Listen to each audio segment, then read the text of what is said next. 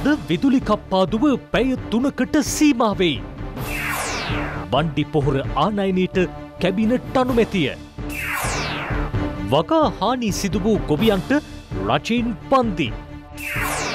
රුසියා සහ යුක්‍රේන සංචාරකයන්ගේ වීසා දීර්ඝ කෙරේ. යුක්‍රේන රුසියා සාමසාකච්ඡා විසඳුමකින් තොරව අවසන්.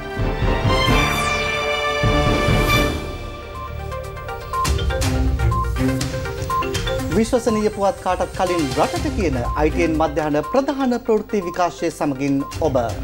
යලකන්නේ සඳහා අවශ්‍ය බණ්ඩි පොහොර ආලයනය කිරීමට කැබිනට් අනුමැතිය හිමි වුණා.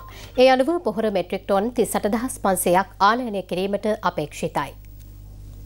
බිවරෙට් ඔප් පොටෑෂ් සුලබව යොදන පොටෑසියම් පොහොරක් වන අතර ගොවින්නේ වීවකව සඳහා බණ්ඩි පොහොර ලෙස භාවිත කරනවා. දෙදහස් විසි දෙක යලකන්නේදී ගොවින් හෙක්ටාර් ලක්ෂහයක බොහොමි ප්‍රමාණයක් විවකා කිරීමට අපේක්ෂාවෙන් සිටිනවා. ඒ සඳහා බණ්ඩි පොහොර මෙට්‍රික් ටොන් තිසට දහස් පන්සියක් අවශ්‍ය බවට ගණනය කර තිබෙනවා. යනුව තරගකාරී ලංසු ක්‍රමවේද අනුගමනය කරමින් පොහොරානයනය කිරීමට කැබිනට් මණ්ඩලේ අනුමැතිය ලබා දුන්නා. දෙදහස් විසියක දෙදහස් විසි දෙක මහකණ්ඩය තුළ හරිත කෘෂිකාර්මික යෙදවුම් භාවිත කිරීම වෙනුවෙන් ඇගේම් දිරි දිමනාව ගෙවීමේ ක්‍රමවේදය ක්‍රියාත්ම කිරීමට කැබිනට අනුමැති හිමිව තිබෙනවා.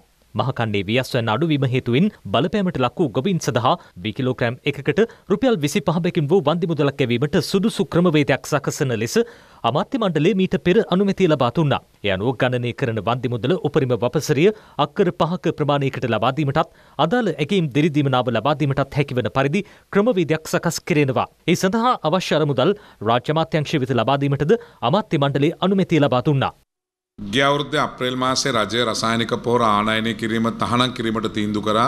අපිට අමාත්‍යංශය හැටියට නියමිත වෙලාවට අපිට කාබනික පොර දිගන්න බැරි වුණා. ගොවින් දැනුවත් කරන්න බැරි වුණා. ඒ නිසා ගොවින්ගේ නිෂ්පාදනයේ යම් අඩුවක් සිදු වුණා. නිෂ්පාදනයේ යම් අඩුවක් වුණොත් එය ප්‍රතිපූර්ණය කරනවා කියන එක අපි එදා පැහැදිලි කරා. ඒ අනුව ඊයේ කැබිනට් මණ්ඩලය මහකන්නේ ගොවින්ට වගාවේ සිදුවෙච්ච හානිය වෙනුවෙන් මුදලක් ගෙවීමට තීරණය කරා. ඒ නිසා අපි දිරිදීමනාවක් හැටියට හෙක්ටයාරයකට 50000කට යටත්ව ලබන සතියේ ඉඳලා පසුගිය මහකන්නේ වගා කරපු ගොවීන් ලක්ෂ 11ක් හෙක්ටයාර් ලක්ෂ 8ක් සඳහා තීන්දුව කරා මුදල් ගෙවීමට. ඒ වගේම මේ වෙනකොට වී කිලෝ එක රුපියල් 92ට 95ට අපි මිලදී ගන්නවා 90ට වී සඳහා හොඳ මිලක් ලැබිලා තියෙනවා. අපි ගොවීන්ගෙන් ඉල්ලීමක් කරනවා මේ ජනතා විමුක්ති පෙරමුණ වැනි දේශපාලන පක්ෂ සම්බන්ධ කරගෙන ගොවීන් නොමග යවමින් ගොවීන්ට කිව්වා වන්දි දෙන්නේ නැහැ.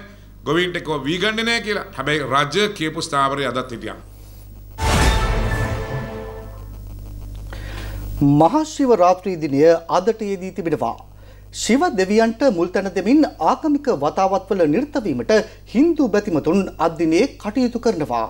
හලාවත මුන්නේශ්වරම් කෝවිලේදී ස්වාධීන රූපවාහිනී මාධ්‍යජාලයේ වසන්තම් රූපවාහිනී නාලිකාව මගින් මෙනිමිත්තෙන් අද රාත්‍රයේ විශේෂ පූජාවක් සජීවීව විකාශය කිරීමට සියලු කටයුතු සූදානම් කර තිබෙනවා.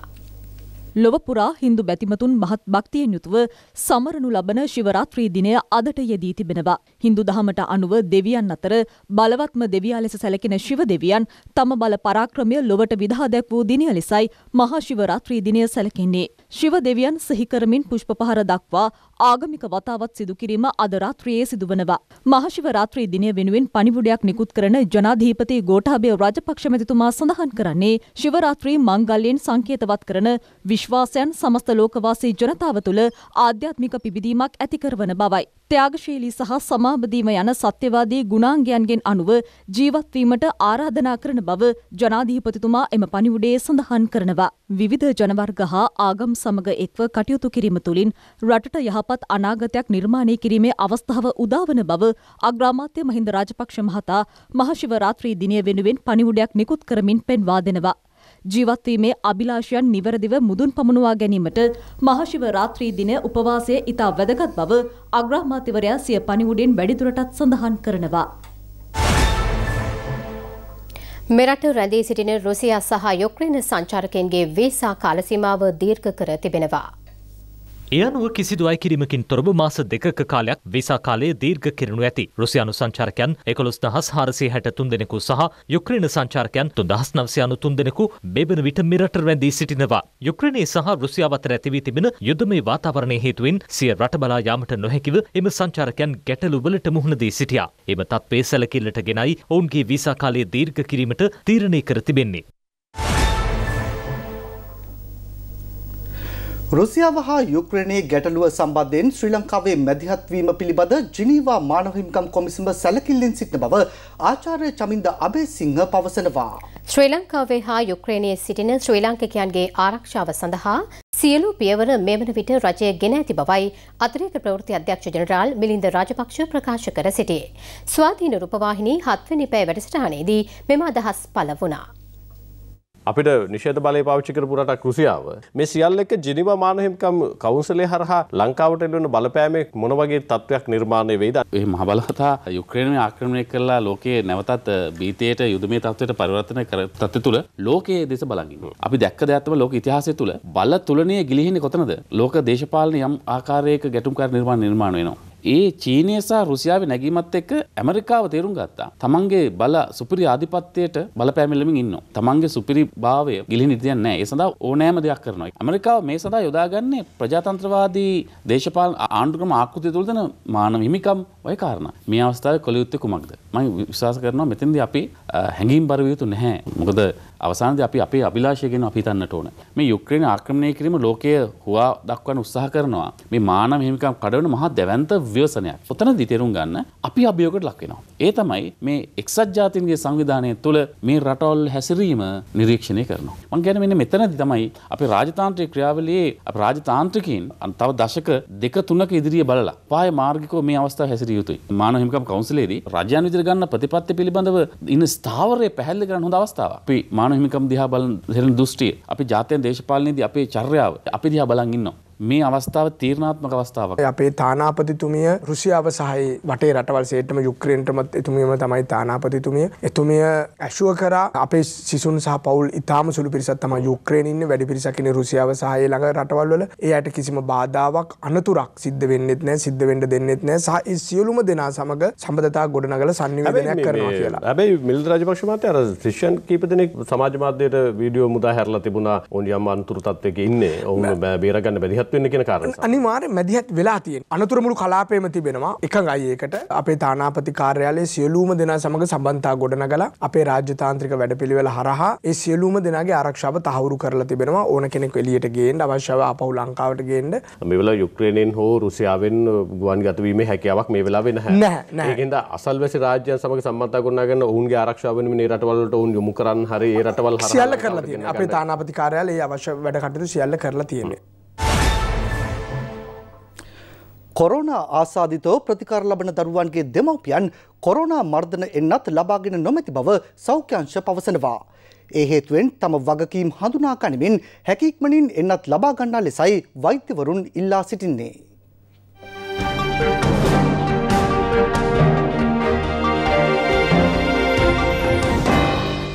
බෙරටින් වාර්තා වන සමස්ත කොරුණ ආසාධිතයන් සංඛ්‍යාව හය ලක්ෂ හතලිස් හය දහස් තිස් හතරක් විසි දහස් අටසියසු අට දෙනෙකු තවදුරටත් ප්‍රතිකාර ලබනවා. සුවේ ලැබූ සමස්ත සංඛ්‍යාව හය ලක්ෂ අට දහස් නවසය විසි හතරක්. අපි පරීක්ෂණයක් කරලා බැලුවා රෝහලේ ඉන්න දරුවන්ගේ දෙමව්පියන්ගෙන් 150කට ආසන්න ප්‍රමාණයක්ම බූස්ටර් එන්නත ලබාගෙන තිබුණේ නැහැ. සමහර දරුවන්ගේ දෙමව්පියෝ එක එන්නතක්වත් ලබාගෙන නැහැ. මේ පරීක්ෂණය මගින් අපිට නිගමනය කළ හැකි වන්නේ බූස්ටර් එන්නත ගත්තේ නැති දෙමව්පියන්ගේ දරුවන්ට ඊටාම පහසුවෙන් කොවිඩ් රෝගය වැළඳිය හැකි බවයි. භයානක තත්ත්වය තමයි මේ දවස්වලත් අපේ දරුවන්ට කොවිඩ් රෝගය වැළඳුනහම ඒවයේ අතුරු ආබාධ අපිට අනාගතයේදී බලාපොරොත්තු වෙන්න වෙනවා. ඉතින් අපේ වැඩිහිටියන්ගේ යුතුයකමක් තමයි ඒ අපිට නොමිලේ ලබා දෙන ප්‍රතිශක්තිකරණය අපි ලබා ගැනීම. විශේෂයෙන්ම කොවිඩ් වලට අවුරුදු 12ට වැඩි දරුවෝ ඉන්නවා නම් ඒගොල්ලන්ට ඒ ලබා දෙන ප්‍රතිශක්තිකරණය ලබා දෙන්න වැඩිහිටියෝ විදියට බූස්ට් එන්නත ලබා ගන්න.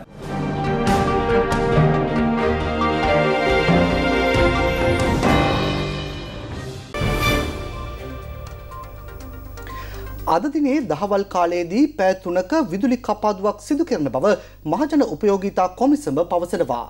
විදුලි ඉල්ලුමට අනුව අවශ්‍ය වුවහොත් පමණක් රාත්‍රී කාලයේදී පෑ භාගයක කාලයක් විදුලිය අත්හිටුවීමට සැලසුම් කර තිබෙනවා. මේ අතර මාස 8ක කාලයක් සඳහා පෙට්‍රල් ආනයනය කිරීමට අදාළ කොන්ත්‍රාත්තුව එක්සත් අරාබි එමිරාජ්‍ය වෙත ප්‍රදානය කිරීමට කැබිනට් අනුමැතිය හිමි වුණා. APQR කලාප සඳහා අද පෙරවරු අටයි තිහි සිට එකොළහයි තිහ දක්වා විදුලි කප්පාදුව සිදු කෙරුණා. පෙරවරු එකොළහයි තිහි සිට පස්වරු දෙකයි තිහ දක්වා විදුලි කප්පාදුව සිදු කෙරෙන්නේ BST කලාප සඳහායි. CUPW කලාප සඳහා පස්වරු දෙකයි තිහි සිට පහයි තිහ දක්වා විදුලි කප්පාදුව සිදු කිරීමට නීමිතයි. රාත්‍රී කාලයේදී විදුලි ඉල්ලුම වැඩි වූහොත් තවත් මිනිත්තු 30ක සැලසුම් නොකළ විදුලි කප්පාදුවක් සිදු විය හැකි බවයි කොමිසම සඳහන් කරන්නේ. මේ හේතුවෙන් සවස 6 සිට රාත්‍රී 10 දක්වා කාලය තුල විදුලිය අර පිරිවැස්වෙන් භාවිත කරන ලෙසයි කොමිසම ජනතාවකින් ඉල්ලා සිටින්නේ. මේ අතර විදුලි බලාකාරවලට අවශ්‍ය ඉන්ධන සපයා ගැනීම සඳහා කඩිනම් වැඩපිළිවෙලක් සකස් කරන ලෙසට ජනාධිපති ගෝඨාභය රාජපක්ෂ මැතිතුමා විදුලි අමාත්‍යවරයාට උපදෙස් ලබා දී ඇති බව වාර්තා වනවා. ලංකා කනිජතෙල් නීතිගත සංස්ථාව හෝ පෞද්ගලික ආයතන මගින් බලාකාරවලට අවශ්‍ය ඉන්ධන ලබා ගැනීමට පියවර ගන්නා ලෙසයි ජනාධිපතිතුමා දැනුම් දී තිබෙන්නේ. මේ අතර ඉදිරි මාස 8ක කාලයක් සඳහා පෙට්‍රල් බැරල් මිලියන 1.8ක් ආනයනය කිරීමේ කොන්ත්‍රාත්තුව එක්සත් අරාබි එමිරාට් වෙත ලබා දී තිබෙනවා. අමාත්‍ය මණ්ඩලයේ පත් කළ ස්ථාවර ප්‍රසම්පාදන කමිටුවේ නිර්දේශ මතයි මෙම කොන්ත්‍රාත්තුව ලබා දී තිබෙන්නේ. පවතින ඉන්ධන හිඟයට ඉදිරි දින කිහිපය තුළ විසඳුම් ලැබෙන බව බලශක්ති අමාත්‍යාංශයේ අතිරේක ලේකම් චාමින්ද හිට්ටයාරච්චි පවසනවා. පෙට්‍රල් නෞකාවක් මෙරටට පැමිණ ඇති අතර හෙට රාත්‍රයේදී ඩීසල් නෞකා දෙකක්ද මෙරටට පැමිණීමට නියමිත බවයි ඒ මහතා ප්‍රකාශ කළේ. දැනට රටේ ඉන්ධන තත්ත්වය ගැන කියනවා නම් දැනටමත් කොළඹ වරායේ පෙට්‍රල් නැවක තෙල් ගොඩ බෑමින් බෑමේ කටයුතු දැනටම ක්‍රියාත්මක වෙනවා. ඒ වගේම හෙට දිනේදී දිවයිනට ඩීසල් රැකත් නැවක් ළඟාවීමට නියමිතව තිබෙනවා. ඇත්තටම කියනවා නම් ලංකා khනිජ තෙල් නීතිගත සංස්ථාවේ පවතින තොග තොගවල වෙනදාට සාපේක්ෂව බැලුවොත් තොගවල අඩුවක් තිබෙනවා. එම පවතින තොගය ඉදිරි දින කීපය සඳහා ප්‍රමාණවත් කරගන්න හැකිතරම් රටේ තියෙන ඒ ප්‍රමුඛතා හඳුනා ගනිමින් බෙදා හැරීමේ කටයුතු තමයි කෙරෙන්නේ. ඉතින් ඒ தත්ත්වය තුල අපට ආරංචි වෙනවා යම් යම් යම් තැන්වල පෝලිම් හිගතාවයන් නිර්මාණය වෙලා තියෙනවා කියලා. ඉතින් ඒ කාරණේ ඇත්ත. කොහොම නමුත් සමස්තයක් වශයෙන් රටේ ඉන්ධන අවශ්‍යතාවය සපුරාලන්න ලංකා කණිතේ නීතිගත සංස්ථාව උපරිම අවධානය යොදව කටයුතු කරනවා. මේකට ලංකා IOC සමාගමත් අනිවාර්යයෙන්ම සහයෝගය ලබා දෙනවා. ඉඩම් ඔප්පු ලක්ෂයක් ලබාදීමේ වැඩපිළිවෙල යටතේ කෑගල්ල දිස්ත්‍රික්කයේ එකසේ හතලිස් හතර දෙනෙකු වෙත දීමනා පත්‍ර පිරිනැමුණා. ඒ රාජ්‍යමාත්‍ය කනක හේරත්ගේ ප්‍රධානත්වයෙන්. රඹුක්කන ප්‍රාදේශීය ලේකම් කාර්යාලයේදී හිමිකම් පත්‍ර පිරිනැමීමේ උත්සවය පැවැත්වුණා. ජනතාව තම ගැටලුවලට විසඳුම් ලබා දෙන ලෙස කළ ඉල්ලීම් වලට අනුවයි මෙම හිමිකම් පත්‍ර ලබා දීමට කටයුතු කෙරුණේ.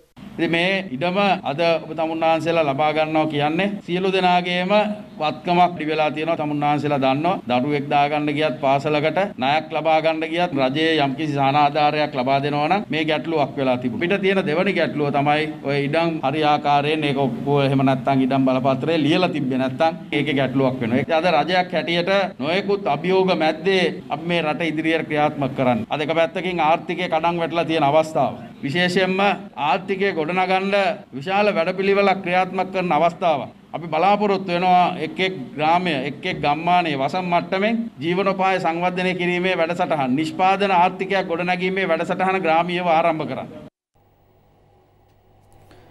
පූර්ව කොමිසන් සභාවල සහ කමිටු තීරණ ඇගීම හා ඉදිරි ක්‍රියාමාර්ග ගැනීම පිළිබඳ ජනාධිපති පරීක්ෂණ කොමිසන් සභාව ශ්‍රේෂ්ඨාධිකරණ විනිසුරු AMMD නවාස්ගේ ප්‍රධානත්වයෙන් රැස් වුණා. බණ්ඩාරනායක සම්බන්ධන ශාලා පරිශ්‍රයේදී කමිටු රැස්වීම පැවැත්වුණු අතර සෙසු සාමාජිකින් ලෙස කටයුතු කරන්නේ හිටපු පොලිස්පති චන්ද්‍රා ප්‍රනාන්දු හිටපු දිස්ත්‍රික් ලේකම් නිමල් අබේසිරි. අතුරුදන් වූවන් පිළිබඳ කාර්යාලයේ සභාපති මහේෂ් කටුලන්ද මහතා කොමිසම හමුවේ අදහස් දැක්වුවා. අතුරුදන් වූවන්ගේ කාර්යාලයේ විමර්ශන මෙතෙක් සිදු වූ ආකාරය ප්‍රගතිය හා ඉදිරියේදී සිදු කිරීමට නියමිත ක්‍රියාමාර්ග සඳහා උපදෙස් ලබා දුන්නා.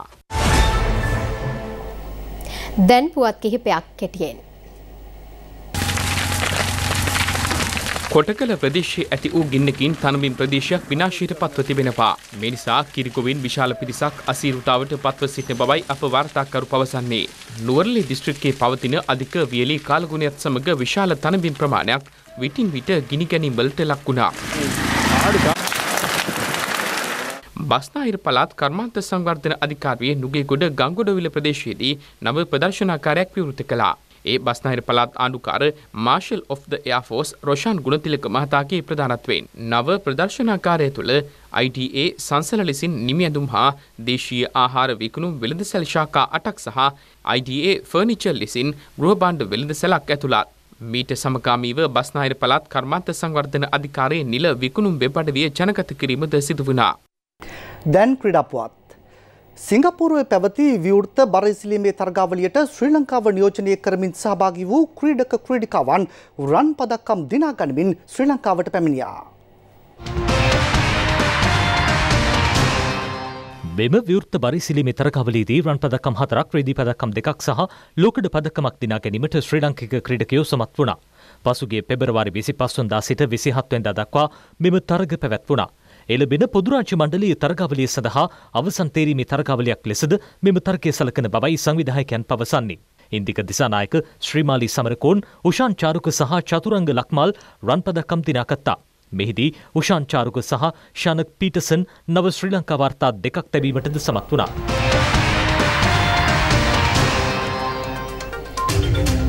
ඒ සමගින් මධ්‍යහන ප්‍රධාන පෘෘතු විකාශය නිමාවට පත්වෙනවා. ඔබට සුබ දවසක්.